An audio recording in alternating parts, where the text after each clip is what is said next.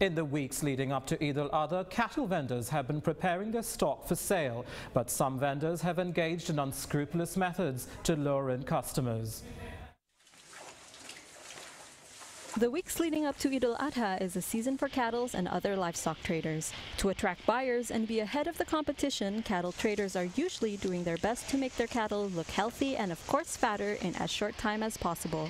There are various methods to do that. The unscrupulous traders inject the animal with liquid to add to their weight. Others would stuff their cattle with as much as food as possible to add to their weight. Muslik opts for a traditional method of feeding his cattle with a diet composed of a mixture of processed soybean residues, bran, and elephant grass, also known as Napier grass.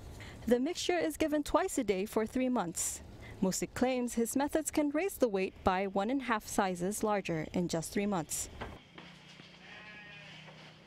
Kenapa saya ngambil dari limbah dari tempe daripada dibuang? Saya makan kan sapi biar gemuk dan juga menghemat gitu loh. Terus masalah rumput, saya ngambil rumput-rumput gajah. Rumput gajah itu kan rumput yang terbaik kan, ya gitu loh. Juga bisa mengitu rumput gajah itu cepat gemuk sapi itu.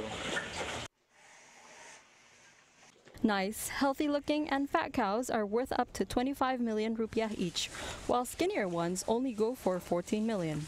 Quite a difference.